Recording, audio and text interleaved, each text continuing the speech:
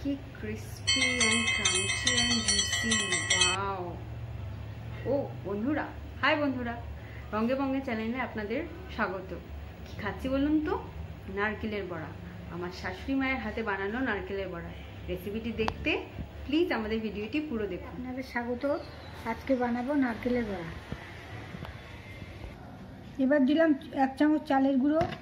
আর দেবো এক চামচ ময়দা আর দেবো, অল্প পরিমাণ একটু চিনি, তারপরে দেবো নুন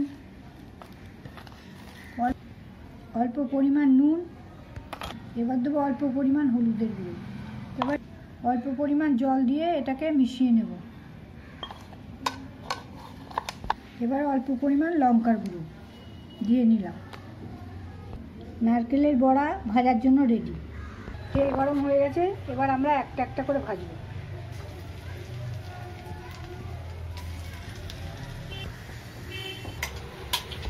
দেখুন, আমাদের তৈরি হয়ে গেছে মুচমুচে নারকেলের বড়া। খেয়ে জানাবেন কেমন লাগল কমেন্টে, আর আমাদের চ্যানেলটি প্লিজ সাবস্ক্রাইব করবেন।